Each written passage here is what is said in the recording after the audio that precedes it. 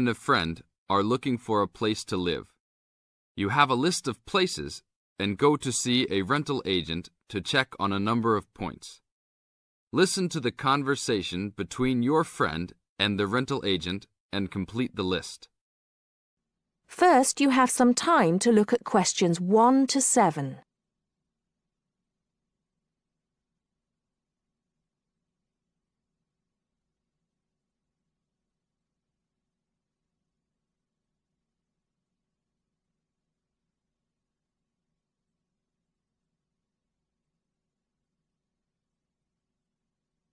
Now listen carefully and answer questions 1 to 7. Hi, we've been looking over your listing of apartments for rent and we have a few questions about a couple of the apartments. Can you help us? Sure. Yep, this is our most recent listing. What would you like to know? Well, we were first wondering about the house on 3rd Street. We can see that it is furnished and rents for $135 a week, but can you tell us how many bedrooms it has? Let's see. In addition to the den, it has three bedrooms. The rental on 3rd Street has three bedrooms. So in the example, three bedrooms has been written down in the number of rooms column for 19 3rd Street. Now we shall begin. You should answer the questions as you listen because you will not hear the recording a second time. Listen carefully and answer questions 1 to 6. Hi, we've been looking over your listing of apartments for rent and we have a few questions about a couple of the apartments. Can you help us? Sure. Yep, this is our most recent listing. What would you like to know? Well, we were first wondering about the house on 3rd Street. We can see that it is furnished and rents for $135 a week, but can you tell us how many bedrooms it has? Let's see. In addition to the den, it has three bedrooms. What about the one on Route 9N? It looks like it's big with a library and a deck, but it doesn't say how much it costs or anything else about it. Oh yes, Mrs. Gaylor's apartment. That one is actually only a 10 month rental and it is going for $156 per week. It's quite a nice place. She only rents for 10 months each year because of horse racing season. Then her relatives all come to stay, so tenants have to move out. It's a little bit inconvenient, but past tenants have really enjoyed their stay there. Oh, well, we need it for a full year. I guess that one is out. How about the rental on Broen Drive?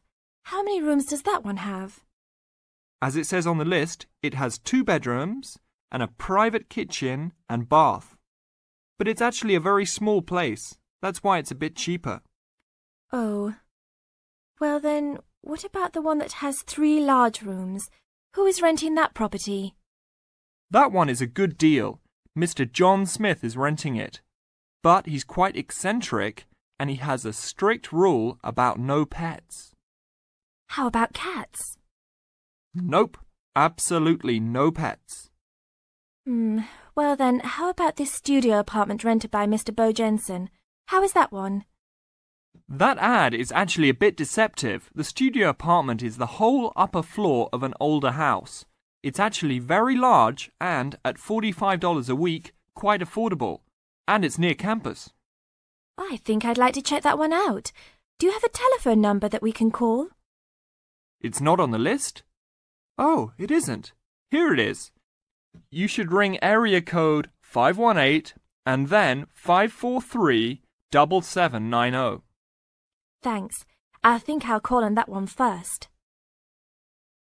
Your friend decides that he would like to talk to Mr. Bo Jensen. Before you hear the rest of the talk, you have some time to look at questions 8 to 10.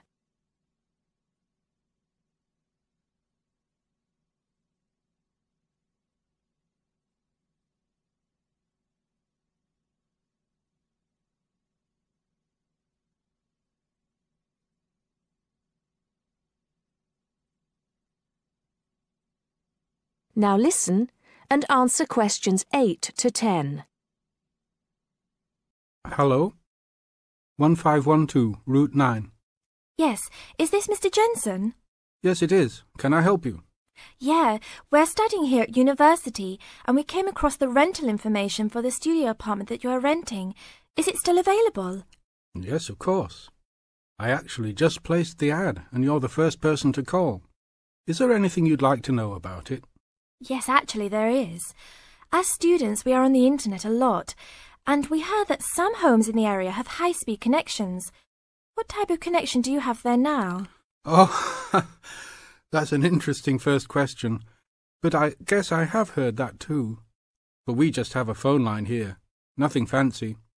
I think you can have a cable line installed, but it's just a phone line for now. Okay, well maybe we can do that. What type of heating does the apartment have? Now there's a more traditional question. We have oil heat here. It's an older house. That tends to be a little more expensive during the winter, right? Yeah, but there's nothing to do about it. It would cost too much for me to put in a gas heater. What else would you like to know about the apartment? Well, we heard it was quite big. Is it furnished? Actually, yes. I should have put that in the ad. It has an old couch and a couple chairs, a dining table, refrigerator, stove, and even a dishwasher. Does it have any beds? Yep, it has two. That sounds great. When is the apartment available? You can have it tomorrow night if you want. I just have to clean up a couple things before you get here. Do you want to come over and see it first? No, it sounds fine to us. I actually know the street too, so I know the area. We'll take it. That is the end of part one. You now have half a minute to check your answers.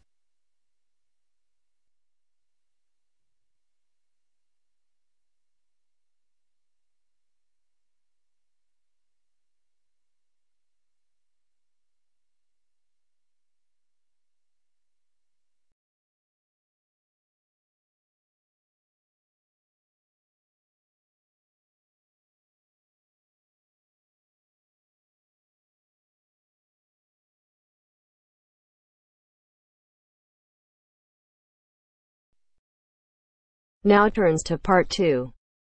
Part 2. You will hear a member of the local council describing plans to redevelop part of the seafront of a coastal town. First, you have some time to look at questions 11 to 15.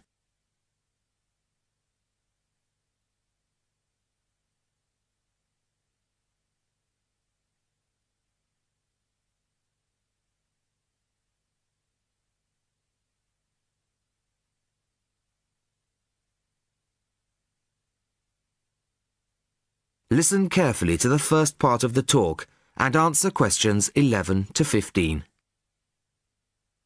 Good evening, everybody. I wasn't expecting to see so many people. Clearly, this is an issue of great local interest. Thank you all for coming. Well, as you all know, I've come to talk about the Council's plans for redeveloping the western part of the seafront. Firstly, of course, the Queen's Parade shopping centre is to be demolished. It was built on the cheap and in a hurry in 1953 and recently came third in a national newspaper's ugliest buildings in the country list, so I don't think anybody's going to miss it. The question was, what do we replace it with? Well, after consultations with the local community, we decided as I'm sure most of you are aware, uh, to replace it with a complex of small shops and workshops, plus a three screen cinema. We particularly didn't want another bland glass and steel shopping centre full of the same old chain stores as every other town centre. No, this is our chance to do something just a little bit different. I'll start at the top. On the third floor will be a cafe and a restaurant.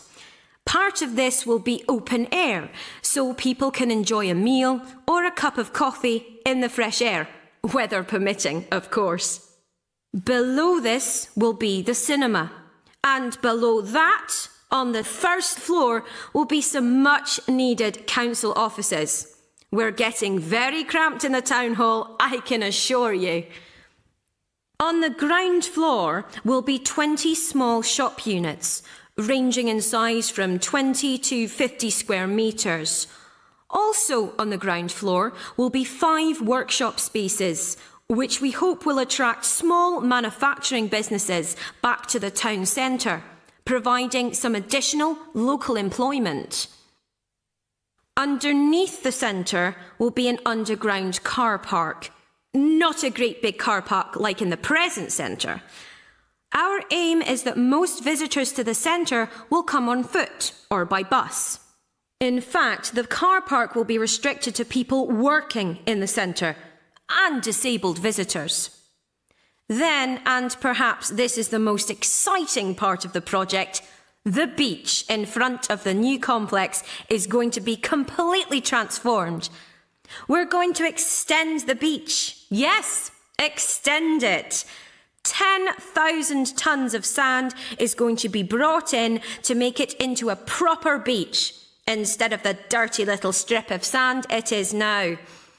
As well as being for the enjoyment of local people, we're hoping that a decent beach will attract more visitors to the town, and that has to be good for local businesses. Before you hear the rest of the talk, you have some time to look at questions 16 to 20.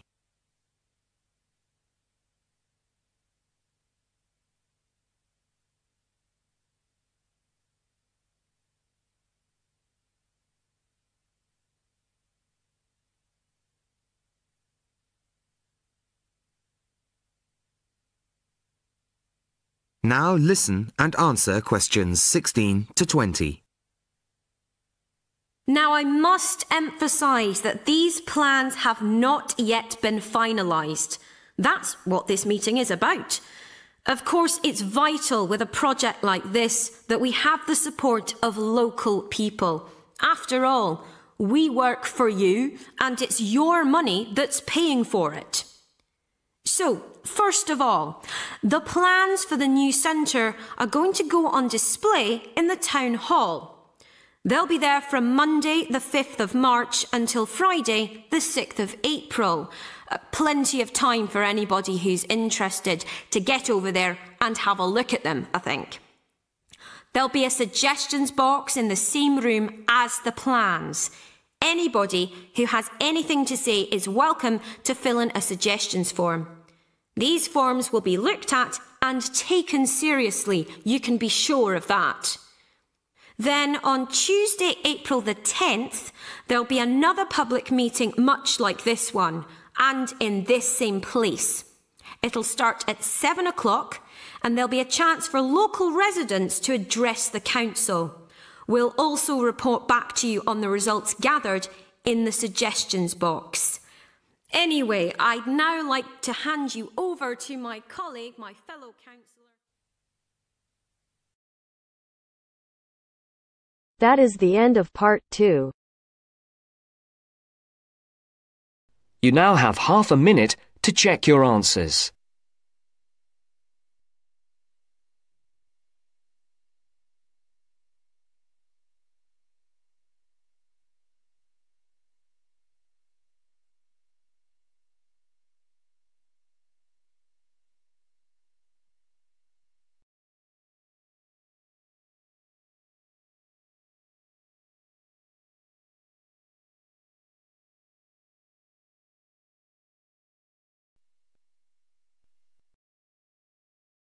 Now turns to part three.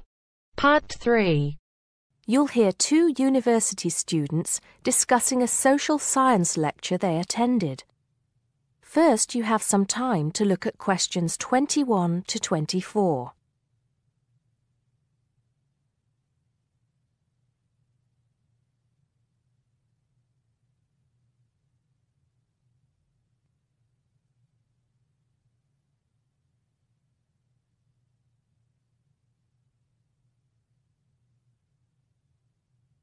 Now listen carefully and answer questions 21 to 24.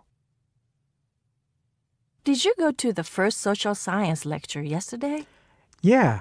Didn't you see me there? No. I was trying so hard to understand the lecturer. What didn't you understand? A lot of it, really. For example, he said we needed to study history as part of the course, but I didn't get why. You probably missed it. He said early on that we need to learn from our past mistakes. Right. But he also said we need to put ourselves in the place of our ancestors. Why is that? I think the point is that it's not enough to know how they lived and what they did. We need to know what they thought. I see. And I've written transferable skills in my notes next, but I have no idea what that means. If you study social science, you learn skills that you can use in a job. Oh, right. Is that all? Okay, but why is that? The point he made was that in studying social science, you use a flexible and adaptable approach to learning. Before you hear the rest of the conversation, you have some time to look at questions 25 to 30.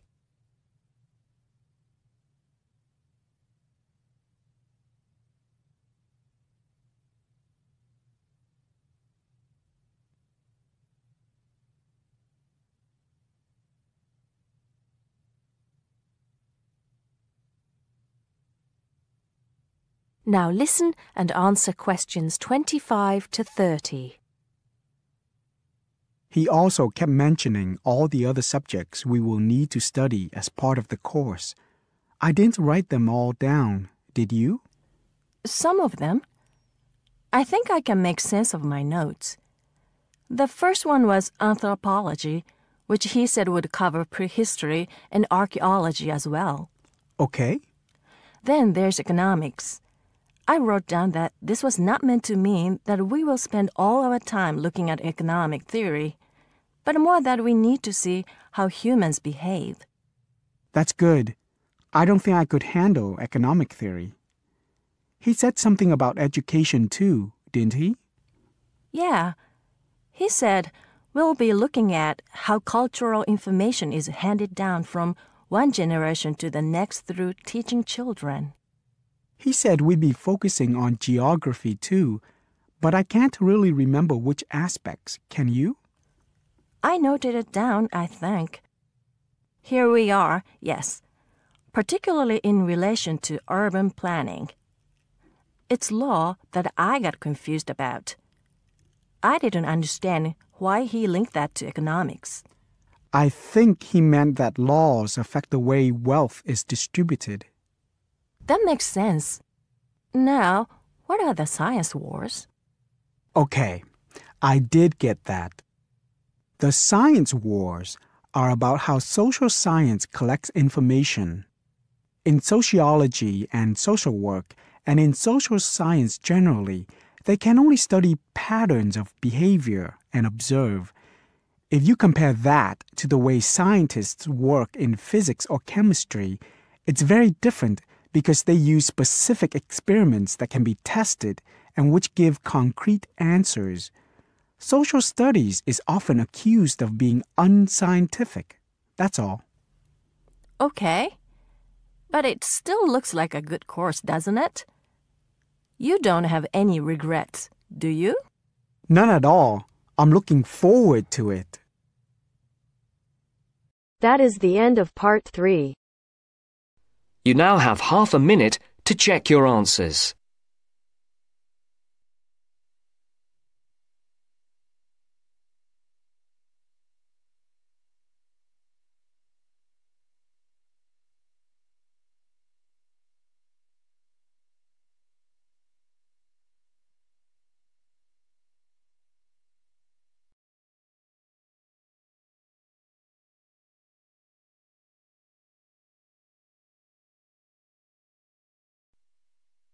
Now turns to part four. Part 4. Hear a talk given by Don Parker, an expert on computer security, about the computer criminals. As you listen to the talk, fill in the gaps numbered 31 to 40. First, you will have some time to look at the notes below.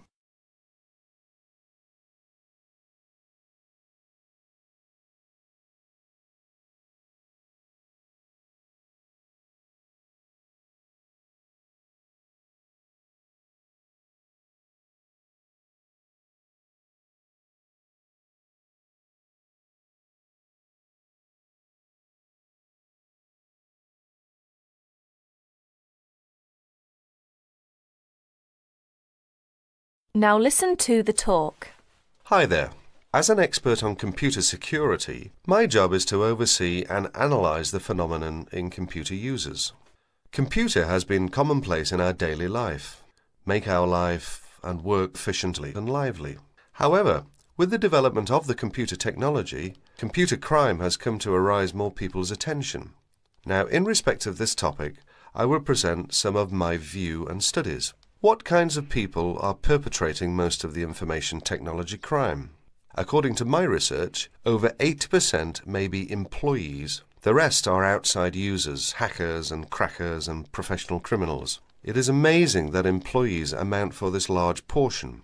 Let us see them in detail. Employees. Employees are those with the skills, the knowledge, and the access to do bad things.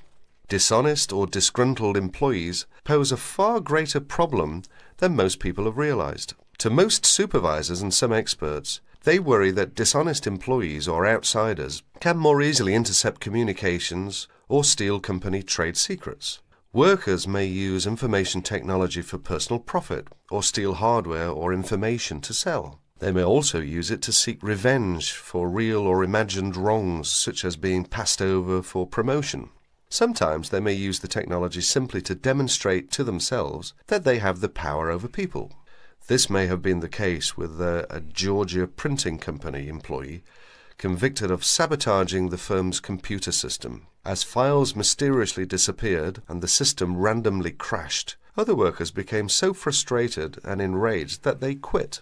Outside users. Suppliers and clients may also gain access to companies' information technology and use it to commit crime. With both, this becomes more a possibility as electronic connections, such as electronic data interchange systems, become commonplace. Hackers and crackers. What are hackers? Hackers are people who gain unauthorized access to computer or telecommunications systems for the challenge or even the principle of it. Crackers also gain unauthorized access to information technology but do so for malicious purposes. Crackers attempt to break into computers and deliberately obtain information for financial gain, to shut down hardware, pirate software, or destroy data. The tolerance for hackers as the benign explorer has decreased. Most communication systems administrators view any kind of unauthorized access as a threat and they pursue the offenders vigorously. And educators also try to point out to students that university cannot provide an education for everybody if hacking continues. Professional criminals.